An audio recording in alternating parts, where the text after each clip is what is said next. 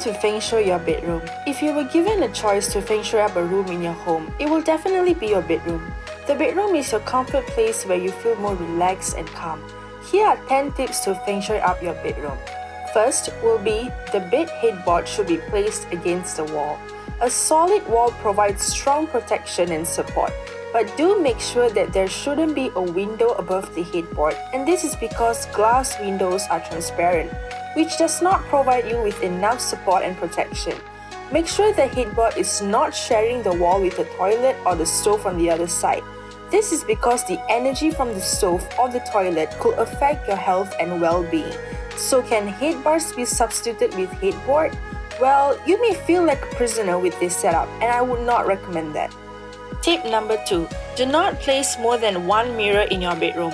We all love taking our OOTDs in the mirror in our beautiful bedrooms, but having more than one mirror in your bedroom is not allowed in Feng Shui.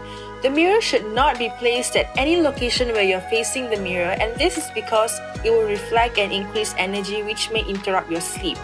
In Feng Shui, mirrors are said to invite a third person in your bedroom. So I assume you don't want to wake up in the middle of the night and notice an unknown friend staring at you. Tip number 3 do not sleep against a window. Your bed should be placed against a good solid wall which will hold the positive energy around you. Sleeping against the window will weaken the chi as there's no strong support and neither will you have any symbol of protection. Tip number 4 Do not align your bed with an open door. Many feng shui experts have agreed that the bed should not be placed aligned with the door. This is normally called the coffin position. Placing the bed aligned with the door will bring too much chi, and too much of a good thing is also bad. Tip number 5 Keep away all electronics. We all know the bedroom should be a quiet and peaceful haven for you. Make sure you are free from any sort of distractions. Some of us tend to check our social media during the night. This will definitely distract us and cause us to have a lack of sleep. But since they are homes with limited space, it is best advised to move all the electronics as far from your bed as possible. Reading books and magazines are some ways to distract you from checking your phone more often. Tip number 6 Choose the right color. In Feng Shui, it is said that some colors bring the maximum amount of calmness and positive energy in the bedroom, and at the same time enhance good sleep. Here are some colors that you can use for your bedroom cream tones, peach tones, chocolate brown, and brown tones. Please be cautious. Don't use too much of peach. It is said that peach can attract partners. Instead of painting the walls peach, you can have bed sheets that are peach colored. Tip number 7 Pair everything. In the Feng Shui concept, pairs are meant to bring out love and harmony. So assume your bedroom for two people, even if you're not planning to get into a relationship anytime soon. So go ahead and allocate a little more extra spaces in your room for an extra nightstand and bedside table, which means pair up these items.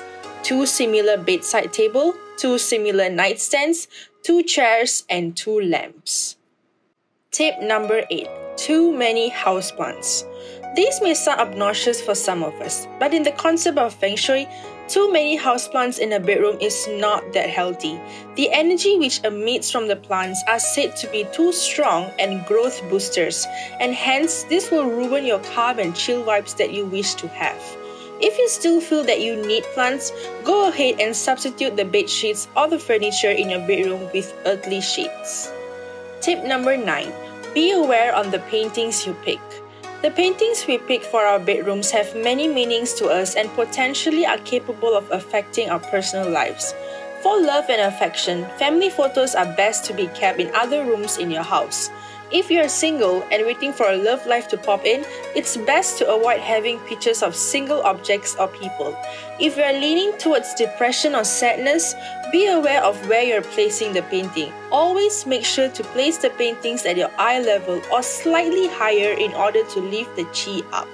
And lastly, tip number 10 no fishy tanks in the bedroom. Many of us assume that fish tanks are considered one of the best items that can bring good feng shui.